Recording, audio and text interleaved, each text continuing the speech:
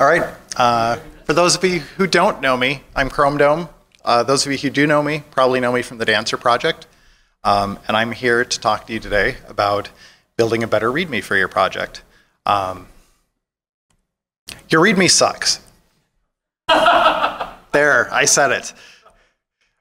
Okay, more fairly, it probably doesn't suck, but it can always be better. And I'm hoping that by the end of this talk, you'll pick up a couple of ways in which you can. Um, let's do something about it together. Um, but first, I want to show you some really good examples from 1999. but I, I, think painting a picture of the way that we've always done READMEs is kind of helpful for understanding how it is that we can do them better.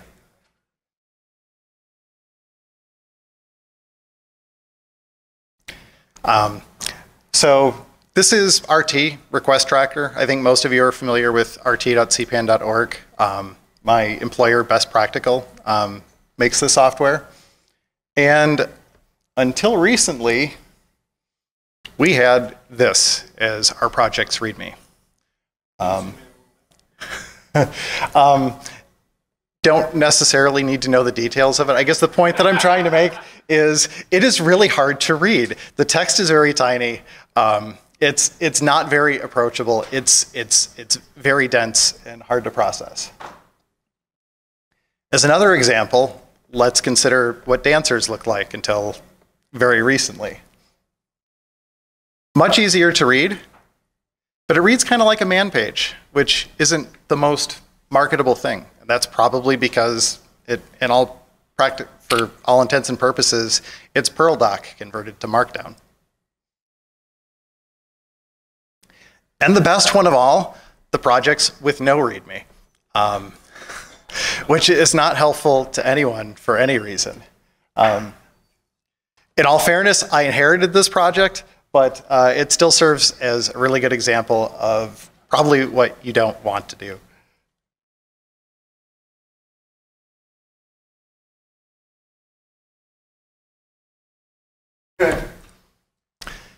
So what is it that a README should do?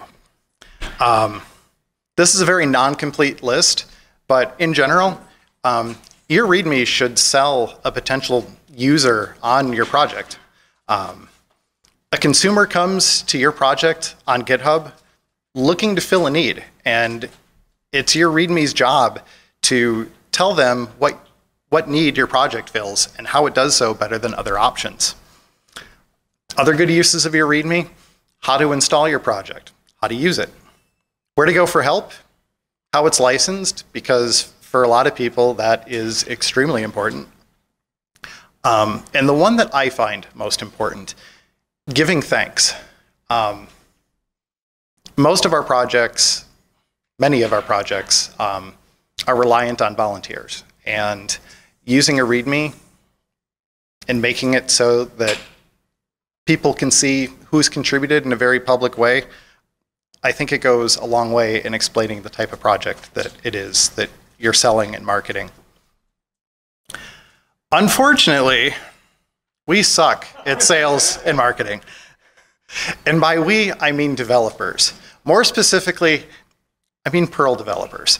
We are I don't think this should come as a surprise to anyone here in this room. We are not really good at selling ourselves in a positive way. If you want people to use your software, you have to be able to sell it. Um, for many open source projects, uh, GitHub is your project's front door. And what people see when they go there, it should be engaging, it should be compelling, and it should be inviting. Boring landing pages lose new users. So let's give them a reason to stay. Um, and what follows are a couple of better examples of READMEs and some tips and tricks for improving your project's README. So without further ado, show me the README.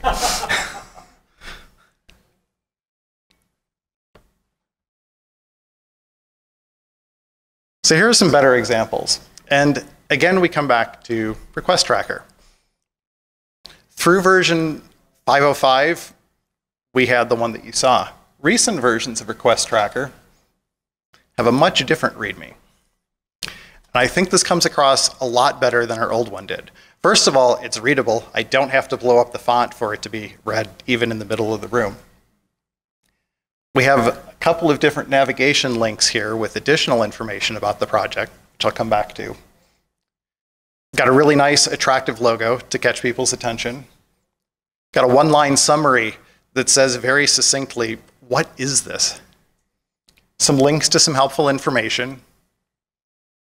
A more detailed synopsis about what RT is. And then finally, we got this really nice screenshot to capture people's attention. And then it goes on from there with much of the same information presented in a more friendly way. What's required, how to install it, how to find help, what to do if you find a security problem, and some license information. And some other things that GitHub has allowed us to do, sorry, we've got this special link that tells people what the license of Request Tracker is. And we've got this other special tab that shows what to do in the case you find a security issue.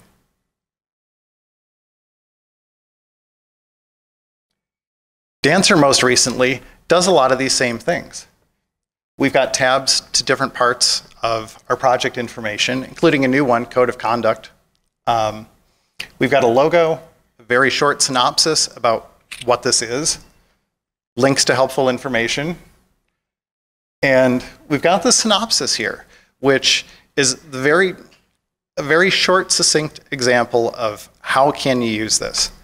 And if I were walking into a project in another language, I would find this really, really compelling. This is easy to get going with. But we still have a lot of the same information, just presented in a more friendly way.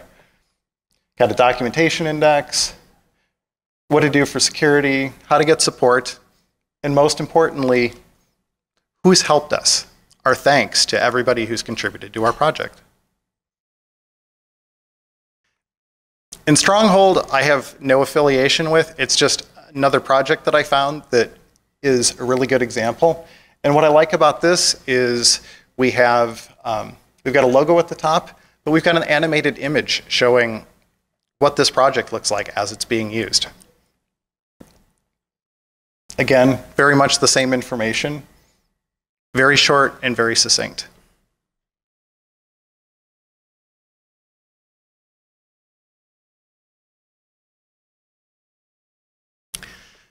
Some important things to remember, know your audience. One size does not fit all. Um, some READMEs might need to be very technically dense. Others just need to be a really gentle overview. And you, as the project founder or maintainer, have to use some judgment here and see what is going to come across best to potential users of my software. Um, the one thing that I can say is that a good synopsis goes a long way and put a lot of thought and effort into that because a really good example of how to use it is really going to hook somebody. How can GitHub help? Um, the most obvious one is use Markdown. Yes, there are tools that will convert your pod to Markdown. Um, don't be lazy. Um, because what works well for a manual page is not the best, is not your best effort for selling your project. Spend some time, make it look pretty. Um, there's the tab helpers on GitHub, making it easy for people to find critical information about your project. Um, create a security.md file and post your security policy there. Uh, post your code of conduct with the code of conduct markdown file. Um, create a license file. And if GitHub can actually recognize your license, it will not only show that there's a license, but the tab header will actually show you what license is it, GPL v2, Apache license, BSD. Um, and the other thing that really helps you is search. If you write your README well enough, you will show up very highly on the search results in GitHub, making it easier for people to find a solution to the problem that they have. Um, GitLab, Gitea, Bitbucket probably has a lot of these tools. I just can't speak from experience because I don't use them. So a few easy takeaways. Add a logo or a screenshot and you're already 90% better than most projects on GitHub. Fair warning, I just totally made that stat up off the top of my head.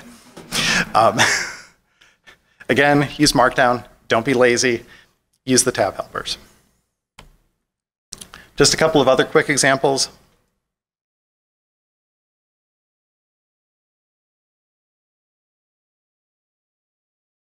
There's this nice CLI utility, attractive logo, nice little animation to show you how it looks when you're using it,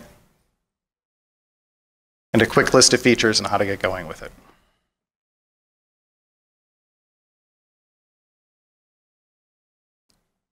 Um, some other resources, I highly recommend the Awesome README project on GitHub.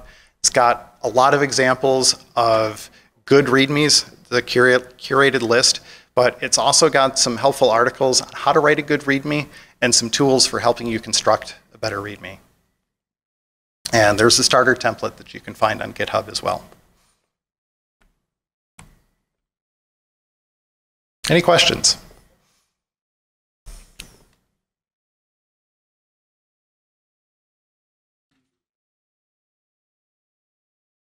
Mm-hmm.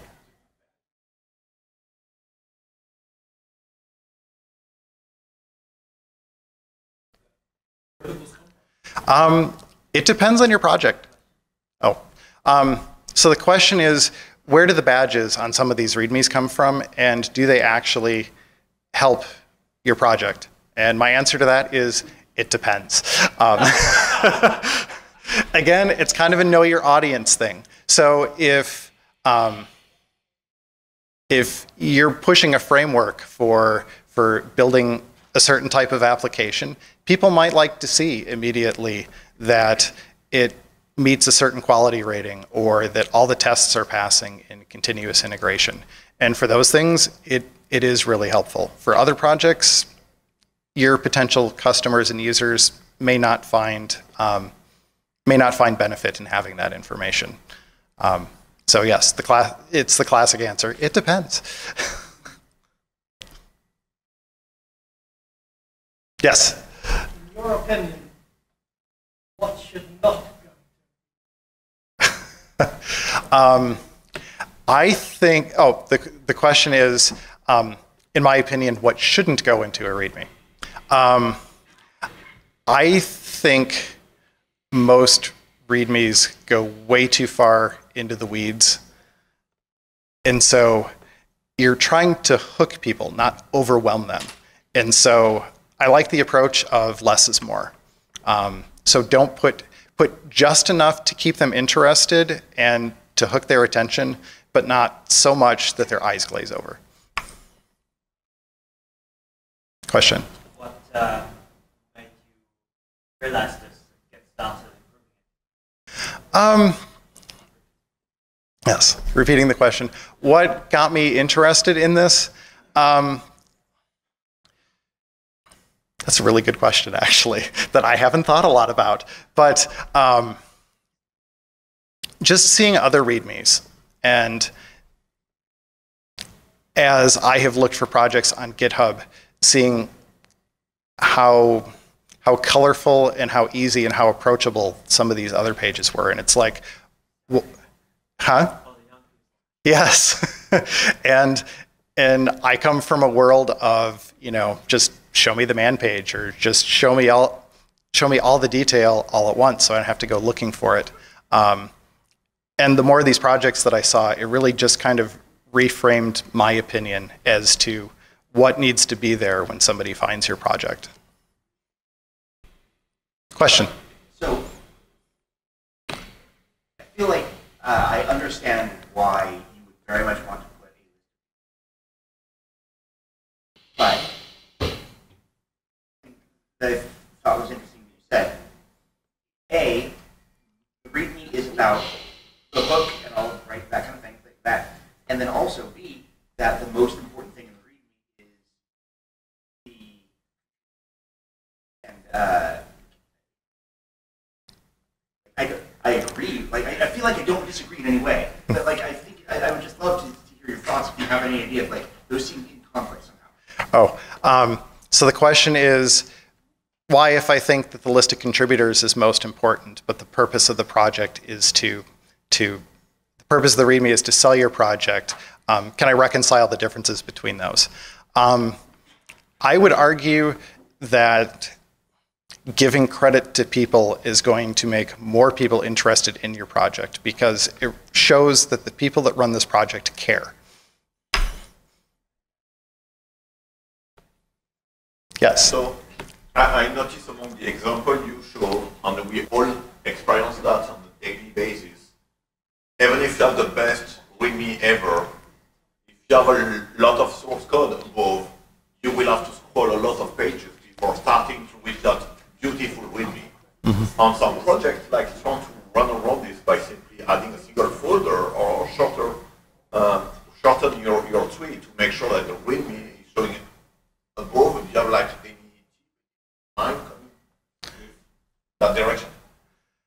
Or use a GitHub page or, or move your code somewhere else. Or, Um, so the, I think the question is sometimes you've got a lot of code to show, and sometimes it pushes all of the copy and other content too far down, and what to do about that.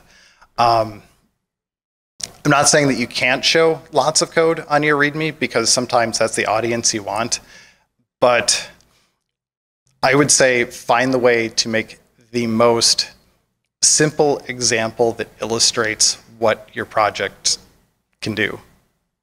I do not mean code, code, I mean your tree, your source code, your browser Oh, can be so long that you might have to scroll pages before starting doing your ah, okay, okay, I got you. I don't have a good solution to that yet, unfortunately, where the file list is so long that it pushes the content. Yeah, yeah, you could do that. You could make a folder and move all of your code to the folder. So you've got a very short list of files and your README content is right there. One trick that you can use though is if, if you're linking to your GitHub project, you can put pound README at the end of the URL and it will skip the file list and go directly to the top of the README. Question?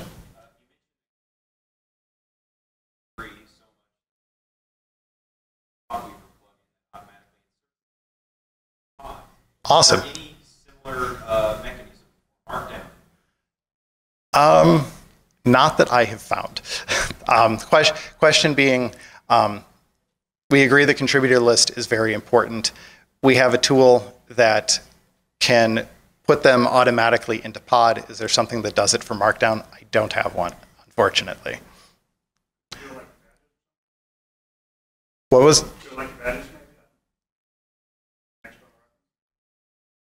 Maybe I hadn't thought about using the badges. One last question. Just in response to that, I mean, on GitHub at least, if the contributors have committed, then GitHub shows them if they have users. They're already there on the right, like all the places who have contributed. Start, not all of them, start. Okay. Um, Julian was pointing out that um, GitHub does help you a little bit by showing um, a small summary of your contributors on the right-hand side of the page. Um, and if they have profile pictures, it does show them there. Thank you very much, everybody.